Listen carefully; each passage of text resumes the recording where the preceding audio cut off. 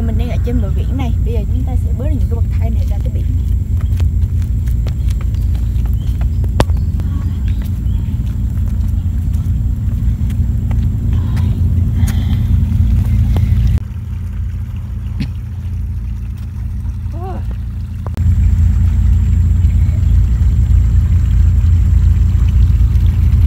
đây là bờ biển là Thạnh An mình nghĩ là lên hình nó thì nó sẽ không rõ ràng lắm cho các bạn nhìn đâu ở ngoài nó rất là đẹp đó này Ừ, nó mình một đáng mong đợi. Rất đáng mong đợi các bạn. Bây giờ mình bắt đầu đi qua bên này nhé, để chúng ta xem bên này có gì. Bên này là hệ sinh thái rừng ngập mặn ở Thạnh An này đây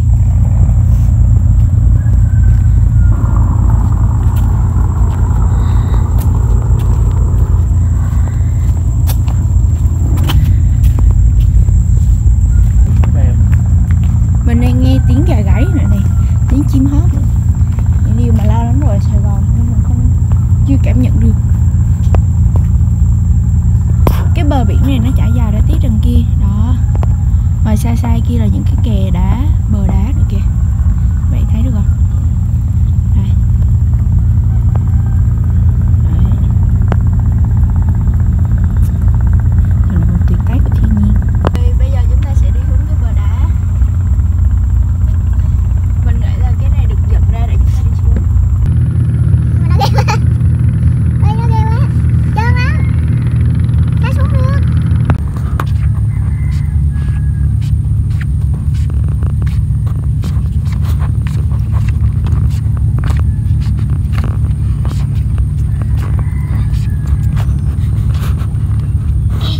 rồi hiện tại mình đang đi ra ngoài bờ đá đá ở đây nó khá là nhấp nhô nên là phải cẩn thận rất là trơn tiếng vừa rồi đó là tiếng tàu báo hiệu đi thôi các bạn cái bờ kè ở đây nó rất là trơn. Nên là mình sẽ đi ra. Chỗ chốt nè, ở bên này nè. Đó. Thấy không? Đây là một con còng ở trong bãi đá này. Đấy. Ở đây có rất là nhiều còng nha, còng lớn, còng nhỏ. Nhưng mà nó có chạy qua chạy lại nên là mình khó nhìn lắm lâu lâu mình sẽ thấy một vài vật thể nó chuyển động á. Các bạn có thể thấy là đá ở đây. Ra tới khúc ngoài này này là được bao phủ bởi những cái vỏ sò vỏ thếm này hết rồi. Nên là đường đi á, thì nó sẽ đỡ trơn hơn. Nhưng mà nếu như mà mình mà vô tình mà mình ra đường ở đây á thì chỉ có thương tích đầy mình thôi. Nên là nếu như mà khuyên cáo các bạn muốn ra đây á thì tốt nhất mình nên đi thể thao chứ nếu như mà mang sandal hoặc dép hoặc là cao gót để chụp hình á, là mình dễ bị sốc mặt lắm nghe các bạn có nghe được tiếng sóng vỗ không? Đây. cái cuộc sống này nó rất là thanh bình luôn á lâu rồi mà thành phố mình thành phố chưa có cho mình cái cảm giác được như vậy Nè. Đẹp không?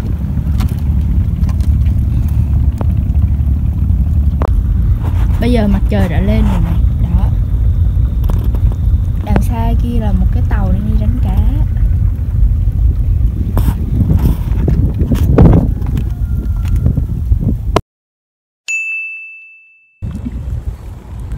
Chào các bạn, bây giờ mình đã tham quan xong cái chỗ cái bờ này rồi. Mình cũng đã chụp được khá khá hình rồi nên là mình quyết định sẽ đi vào. Và chúng ta sẽ thám hiểm tiếp những chỗ khác nhé Bây giờ mình đang đi dọc theo bờ biển Mình đang đi trên cái bãi đá này sau khi thoát khỏi cái bờ kè đằng kia Mình dùng từ thoát khỏi tại vì nó hơi nguy hiểm ấy. Nhưng mà đây thì cái con đường này nó an toàn hơn, nó đẹp hơn. Bù lại thì nó không có cái sự nguy hiểm kia. Đây. Các bạn, các bạn, ở đây có rất là nhiều cua. Nè đây là một con cua tím đang tập thể dục nè. Thấy không thấy không? Nó màu tím rồi nó đang tập thể dục. Rồi nó thủ á nhiều cua lắm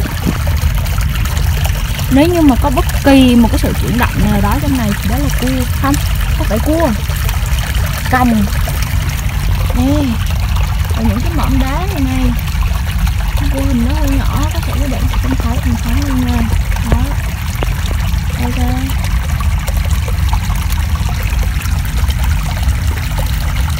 rất là nhiều luôn á. Nè, bây giờ mình sẽ cùng nhau thưởng thức một tí, tiếng của thiên nhiên. Cái này là một cái nắp cống thì phải, nhưng mà nó cũng rất đẹp này.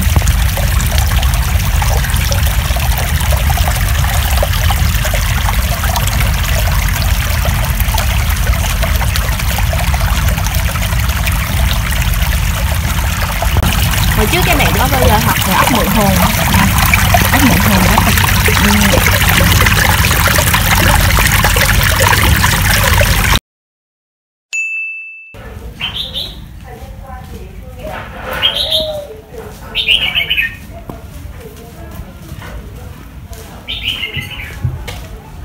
Mình đang thấy một cái lối nhỏ dẫn ra biển. Nên mình đang cố thử đi tới coi là chúng ta có thể ra biển con đường đó được không? Nè, đây là một cái bãi đậu của tàu Đây là những cái lưới để đánh cá. Bây giờ mình đang đi ra ngoài cái cầu ở đấy. Buổi tối ở đây rất là đẹp nha. Mà tại tối qua máy mình thấy pin không quay được.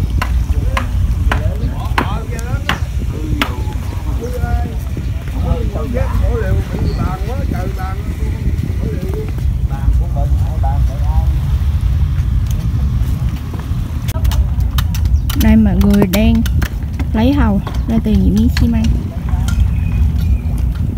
Rồi cái này là biển. Biển everywhere. Thì Bây giờ bọn mình đi ngồi uống cà phê ở đây. Gió ở đây khá là rít nên là dù mới ra ngoài đường có một tiếng mà tóc tay mình đã bết hết rồi Một tí nước cam với ngày mới năng động nè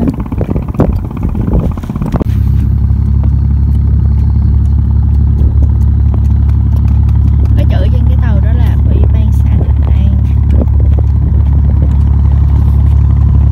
Mọi người thấy đâu một cái tàu rất là lớn Nó đang đi nè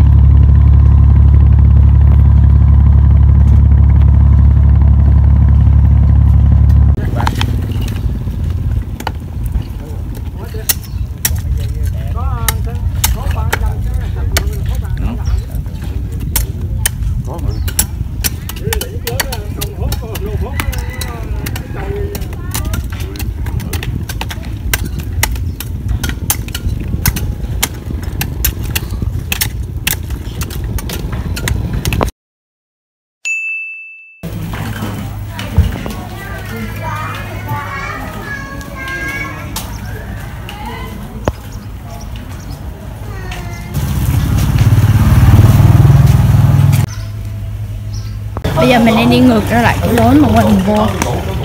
Mình đang đi kiếm đồ ăn sáng Đây có nhiều lắm. Đây chủ là cá khô, tôm khô Rất là tươi. Tạt con rồng.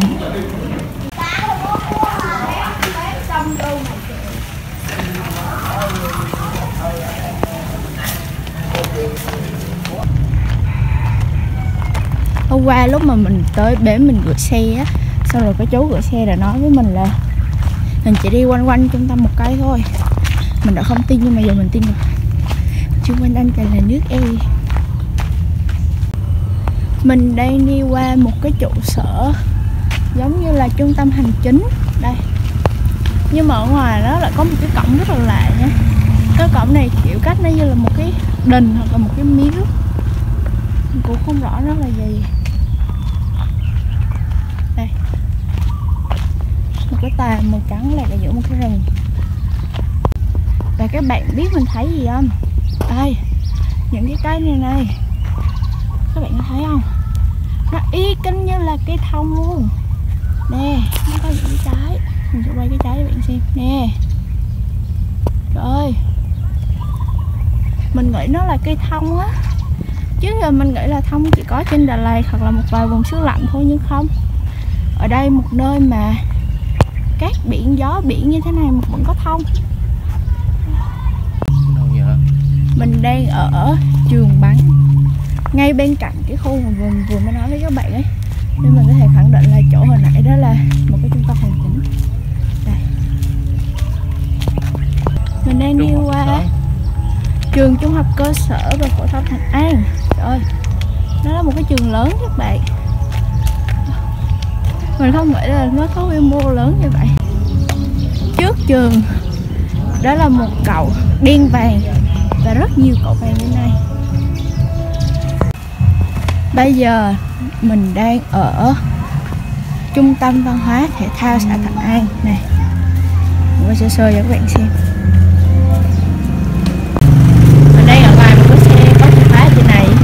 Có cả một bảo hiểm. Nếu như ở Sài Gòn thì nó đã mất cách đây 30 giây.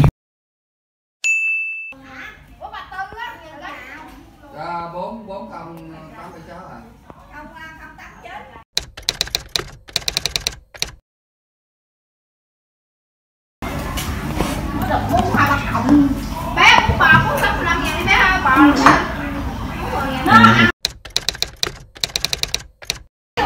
bà Duyên bà Duyên hả? Ừ.